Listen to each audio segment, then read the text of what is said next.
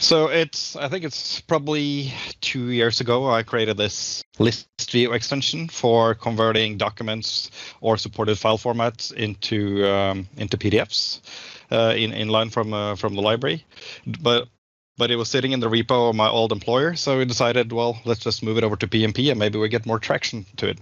So the idea is that I mean, often you might be sitting in a library, you have one or multiple files, and you want might want to either download these as PDFs or convert them to PDF. Um, the good thing about this solution is that it's using out-of-the-box API, so there's no external calls to Flow or Azure's uh, functions, service, whatever. It's all all just using the internal API. So I'll cover that later as well. So let's just start with one. If I do one document first. Um, so I have downloaded as PDF and convert to PDF. So now if I do convert to PDF, processing, and then it's generating, and we should see an update here. And here's my file. So I guess I can I can open this as well. You see, well, it just had, had some text in it. Uh, I can also do, so let me just remove this. And I can do two files. And then we can go back. Oh, sorry, it was already there, and then convert to PDF, processing the first one, processing the second one, and we should probably get a couple of PDFs updated here. Yep, then. So this one also had an image in it. And let's just delete them again, and then let's do the download demo. So if I do download, it will convert them and then it will use JSZip on the page to zip them up and give you a zip file. And, uh, with the same files, with a small powered by PnP text file in there. And if I open this file, you see it's the same PDF. So all all quite simple. So how is this actually working behind the scenes? That's sort of uh, that might be what you're wondering.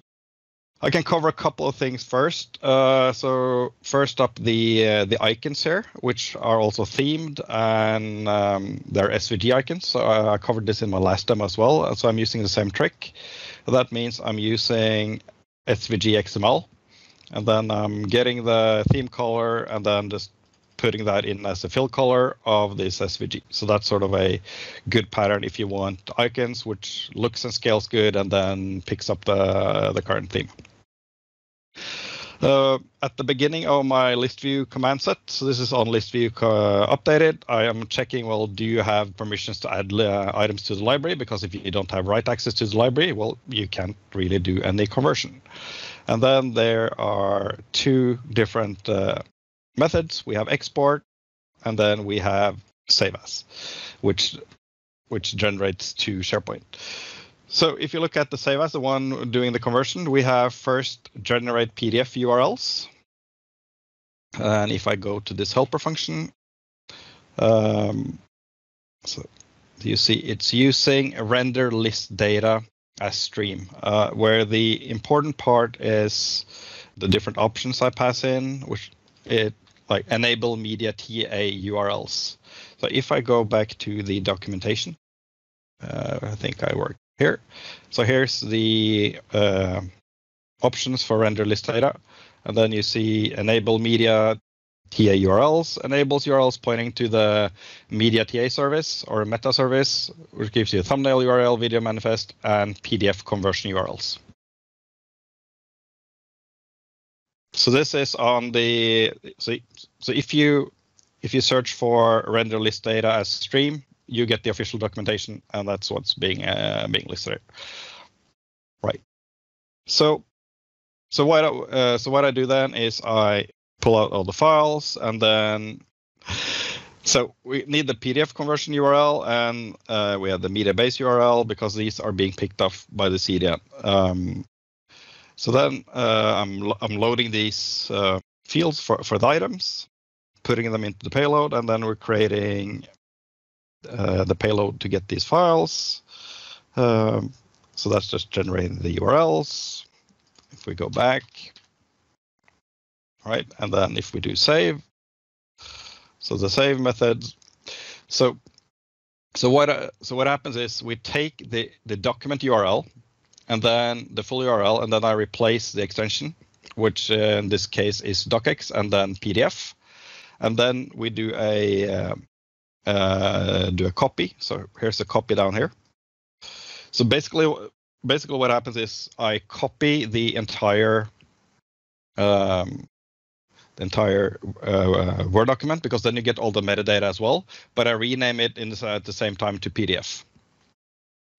And then we read the um, then we, then we read the uh, so so here's the PDF URL, which which uh, reads uh, the, the converted files and then get the blob data and then write that back to the file. So that's sort of an easy way to to maintain all the metadata but replace the actual contents with um, with the PDF contents so, so the binary stuff uh, works.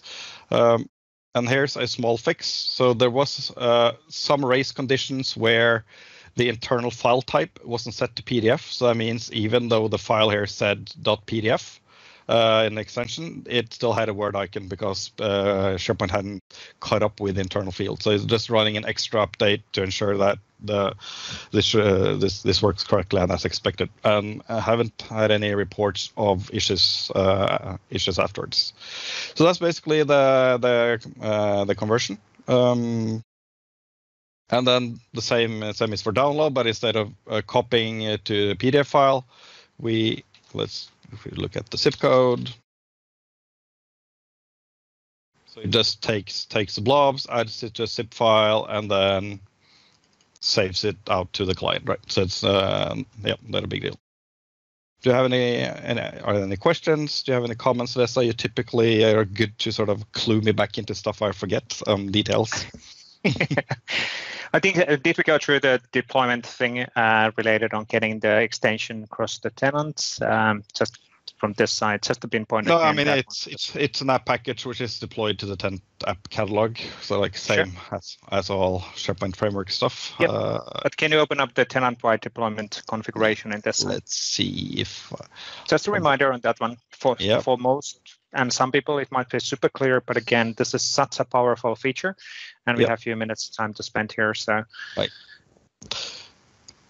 so I probably haven't built it. So that means uh, you do upload and then it um, it's a tenant-wide extension. I don't think I have the uh, package yeah, built. Let's right. go to the site. It should be there by default. That's the that's the beauty. So yes, if so you go to the site all contents, sites, yeah, yeah. If you so go to the site contents, uh, in the no, not in here, in the app catalog. In the app catalog. Yep. Uh, all right. I'm, I'm completely messing up your demo, so it's all good. Tenant-wide extensions listed mm-hmm. over there.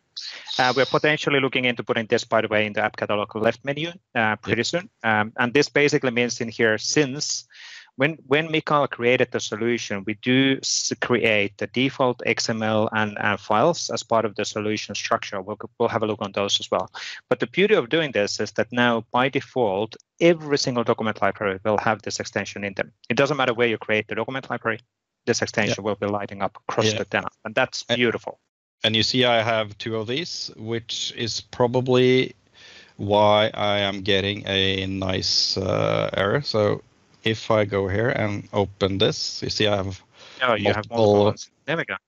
One, two, three. Yeah. yeah. Three but we could easily control because we control yeah. all of this from a one centralized location, which is that list, uh, which is in app catalog. And that's the beauty of this model. So you don't have to go to the site level to change things. You come here, delete one file and row uh, from here, and, and that changes. Or you can disable one of them, and that impacts immediately runtime the experience has crossed the tenants. No delays, no nothing. It's a runtime uh, resolution. And of, well, and of course, if you if you don't caching want... delay, if we're being super super practical yeah. from a technical perspective, but still. Yeah. Anyway. Yeah, and and if you don't want PDF conversion in all your sites, uh, I don't know why, but then you can deploy to a site app catalog as well. So you only get it yes. for for that yes. one site. Yeah. Or you can filter that only to a specific web template. Now, can we go to the solution? Let's just pinpoint where this is happening. So if we go to the solution, a SharePoint folder, yeah. um, extend the SharePoint folder.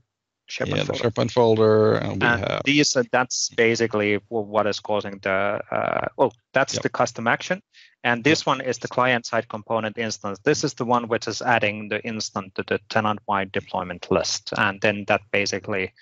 This is information which is being visible on that list, and then that enables the runtime resolution of the extension across the tenant automatically, which is beautiful. Yeah, and 101 means it's available in document libraries. Yeah. So I've just a funny side note on that one. Just had a meeting earlier today with our China team who's looking into modernizing the whole app catalog end to end and all of that stuff and store. There's a lot of announcements coming on there.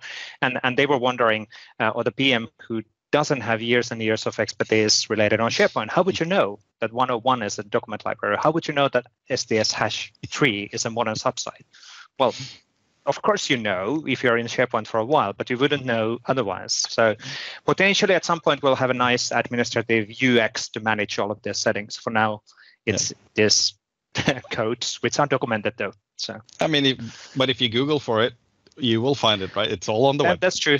Yeah, that's a 20 years yeah. long of the document library has been 101 for 20 years. So that's the thing. So, yeah. which is yeah, mind blowing. Cool.